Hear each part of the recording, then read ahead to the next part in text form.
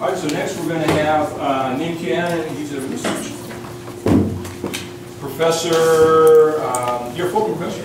Yes. Okay, research full professor. He's going to talk about retinal neuron degeneration after optic nerve injury.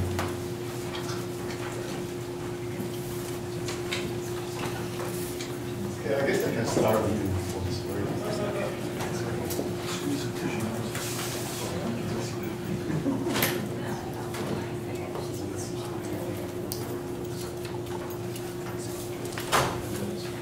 So my name is Ning Tian. I was initially trained as a retinal surgeon uh, in China.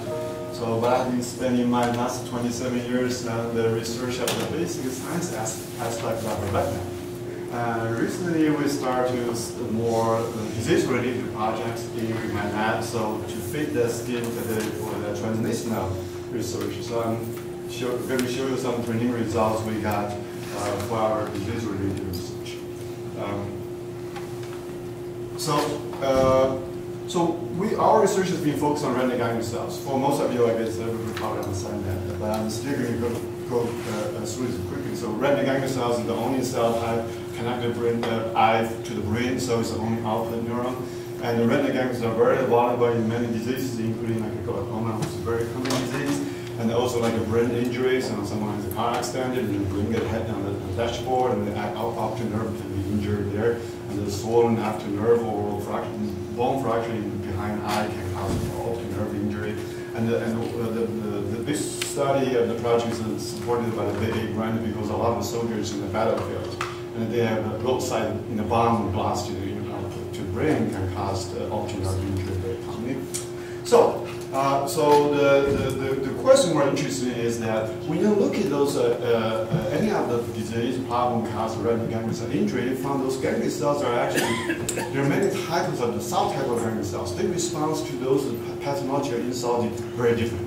Some cells are much easier to be injured or damaged or killed, and some cells are much tougher and more resistant to those diseases.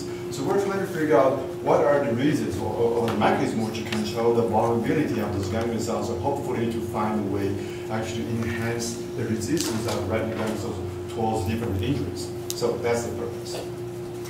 So, um, so this is just to show the examples. So when we when we try to study how ganglion cell dies, we want to figure out the process of their death. So if these are the pictures from the live animal or from mice. So we, we use the transgenic mouse, we can express the fluorescent proteins in the ganglion cells so we can actually watch the cell, the morphology, every day for a long time period. So, so this is example, we, when we put those glutamate injected into the eye, so glutamate is a commonly exciter neurotransmitter uh, naturally. So in our brain and our retinas, most of the exciter cells actually uh, release glutamate as a neurotransmitter. But if, when they release too much of them, it causes toxicity we call it excitotoxicity. So those, those happens if someone has a brain injury. You have the primary cell death, and those dead cells release a lot of glutamate into the, the, the, adjacent cells and cause those cells the uh, secondary deaths of the cells around the, the primary injury.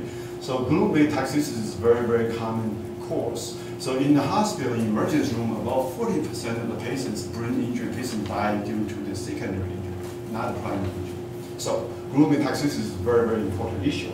But in some people even believe glutamate toxicity is the cause of, the, or partially of the aspect of the cause of ganglion death in glaucoma. Because sometimes, particularly if the, the, the angle close glaucoma cause immediate IOP increase, cause a lot of cell death and cause secondary cell by glutamate toxicity. Okay, so when we inject a glutamate into the eye, we look at how the cell dies. So you can tell before the injection, the ganglion cells have the, you know, healthy dendrites. And then just 10 minutes after that, the, the start to become segmented. And about you know three hours after that, you lose like 80, 90% of dendrites, and six hours of that, the cell lose all the dendrites, become sore. So when we look at the, uh, the, the, cell death process, what we found is, and we use the caspase-3 is the cell death molecule and when the cells start to synthesize caspase-3, which means the cells in the process of time. So, and then we compare the time course of the disappear of the, of the fluorescent uh, dendrites. We found the ganglion cells always lose their dendrites completely before they starting the cell death process. So it sounds like loss of ganglion cell, the loss of dendrites is a condition for the cell die, or is the is, is, is the earlier stage of the cell death. So um, and but when some cells they lose their dendrites completely, they can stay keep alive for several days in this condition. So what actually keep them die, uh, not die without dendrites, or, or can we actually promote them to regrow dendrites? And then what that save them from dying? So it's a question we're trying to study that. So that's one example. So another example is this. This is actually optic nerve crash uh, in the live uh, animal. So we, we, we identify these cells, and then we go to the back of the eye, use the forceps, just mechanically crash the optic nerve on the live animal, and then we watch the cells, see how far to die, how to die. What you can see is like 31 hours after the nerve crash, that same ganglion cell lose all the dendrites, and four days later, that cell is gone. Okay. So again, so in, in addition to the moving toxicity, mechanical injury of optic nerve, even you injure the axon of the ganglion cells, the cell don't lose their axon. Actually, they lose the dendrites first before they die. Okay. And the third example is this. This is even much longer. This is the light-induced cell damage. So we look at a bunch of cells. We use a relatively high uh, laser to, to just uh, scan on this particular cell, and then we wait like for 13 days. And those cells start to actually lose their dendrites. The dendrites become segmented. And then 14 days later, or one days after this, they lose their dendrites, and another two days after that, the cell is dead. So it doesn't matter what kind of injury you use. When you injure ganglion cells, they lose dendrites first, and then they, they die. Okay.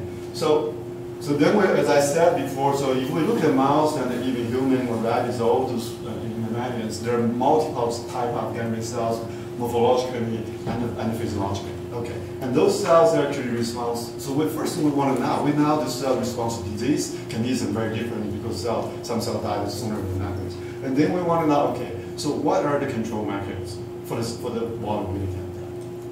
So that's one uh, that's one goal we want to look at. So uh, uh, to characterize again, there's a subtype specific water bleeding. That's one goal. The second goal we want to look at that is uh, when we lose ganglion cells in the retina, and we how it's likely to affect other cells, even they are not directly injured. Is there any secondary cell death after ganglion cell injury? Okay. And then because that's very important because if we want to say do the stem cell transplantation to restore the, the vision, and if you don't have the normal cell morphology or, or, or well-being of other cells, even you put in the new ganglion cell in retina, going to function normally because the whole retina has to function as a network, and not individual cells, because the nerve system all function as a network. So that's the second thing. So the second purpose, the third purpose we're doing here is we have some candidates uh, have a neuroprotective uh, capability. So we want to try those neuro, those chemicals with neuroprotective protective capability while they actually protect the cells from that use the model we're using.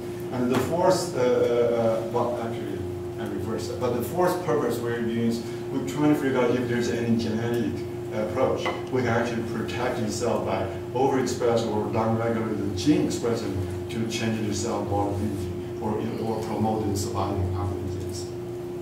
So animal model we're using is, as I said before, we use two uh, common models. One is the optic nerve injury by crash optic nerve, and the second is by injecting lumet into the eye to cause the lumet cytotoxicity.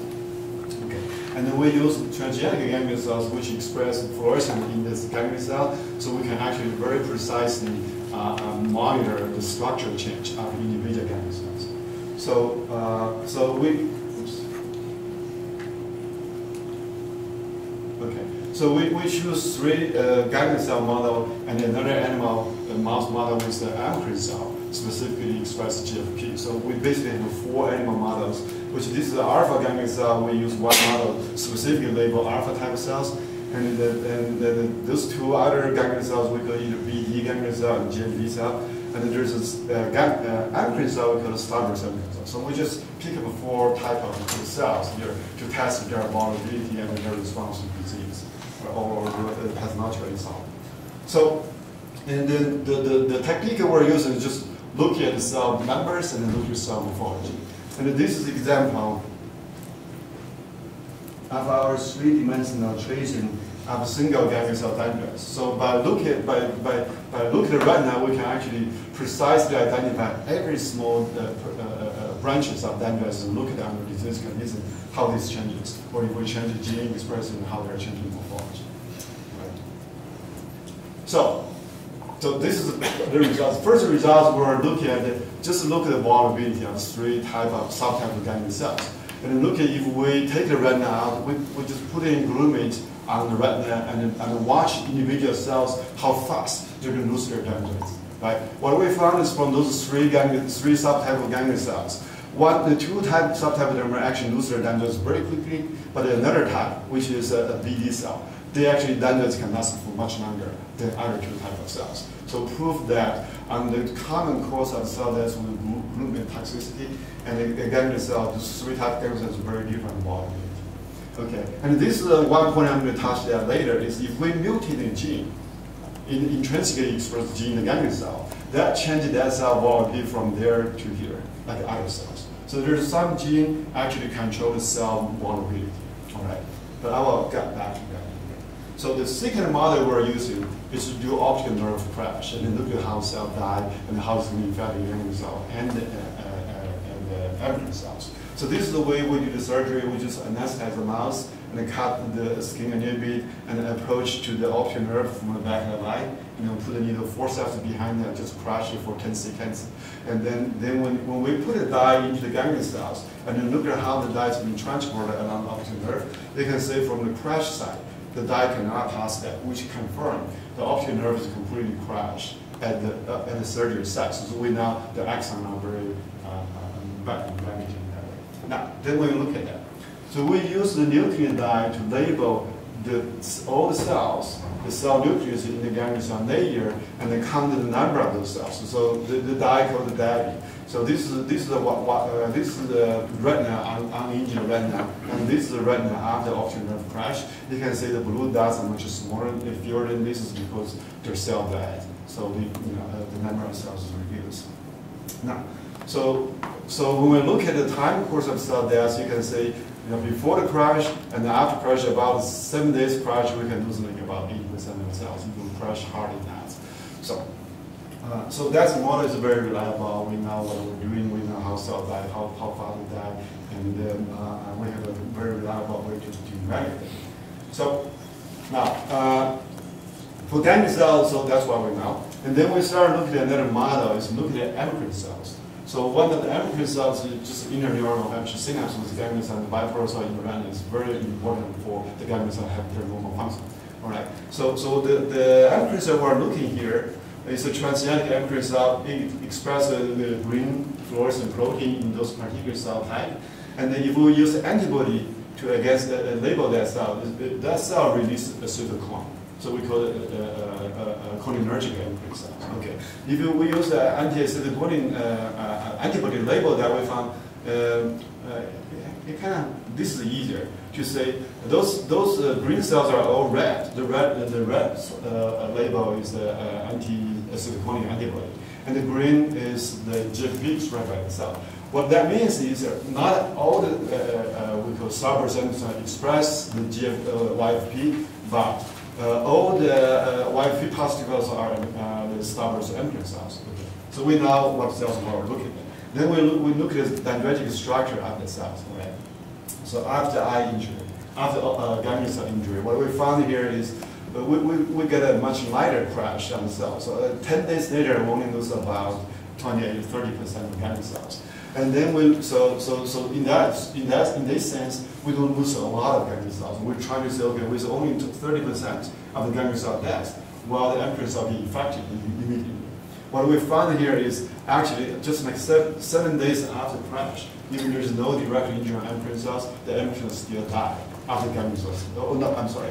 Uh, uh, cells did, uh, amacrine cells didn't die, but cells started to lose their dendritic structure.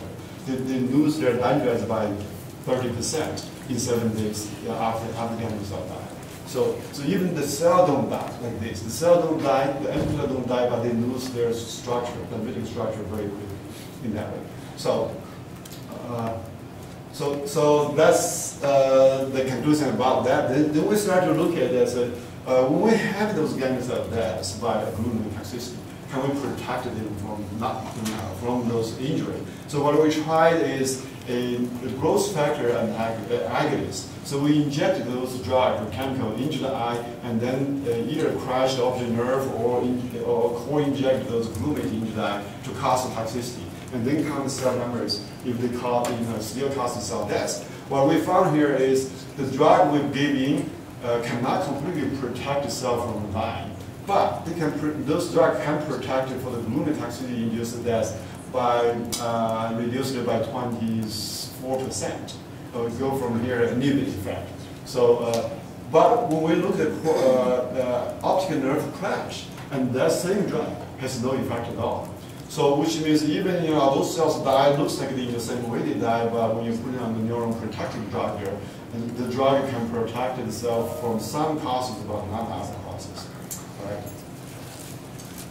So, so this is the same slide as I pointed uh, to you before. So we're trying to look at if there's any genetic way uh, we can actually find out uh, that, that the, the molecules expressed by cell per se control the cell death. If we manipulate the activity of the gene expression, can we protect cells?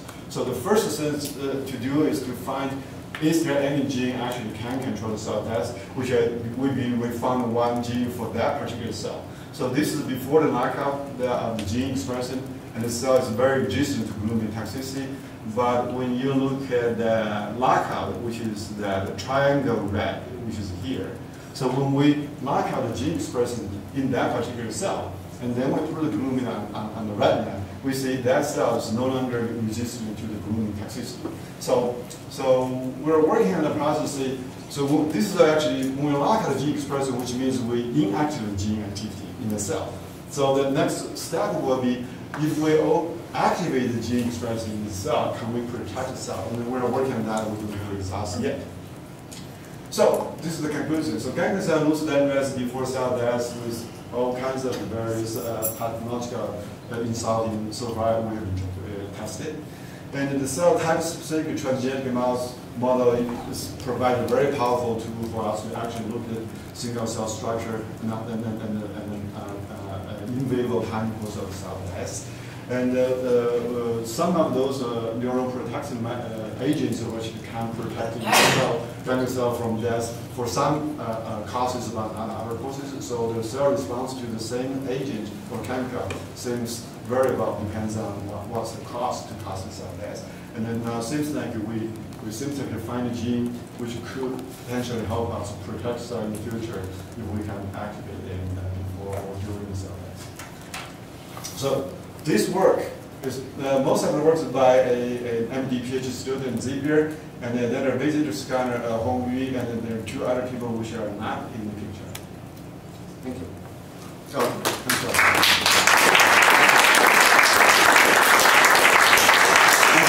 Before you guys ask a question, I have to say these are supported on multiple agents for the, for the Questions? So, Ning, are other cell types affected when ganglion cells die besides amacrine cells? Well, which we don't know actually. So, uh, which is a very good, which is a question we really want to know. Mean, people know that if the photoreceptor dies, because I guess you heard of Bryan Jones' Yeah, talk, yeah. you know, earlier today. If you get dies. the pre-synaptic which are photoreceptor die, you you completely miss out the whole retinal circuitry uh, as long as you, if you wait long enough. Yeah. But very few people can look at that if the uh, you know, post-circuit die, like the cell die, how much impact is on the retinal circuitry. And there's not very much uh, study on that. So, so we guys probably have to start from the very beginning to figure out how, how, how, significant the impact is on the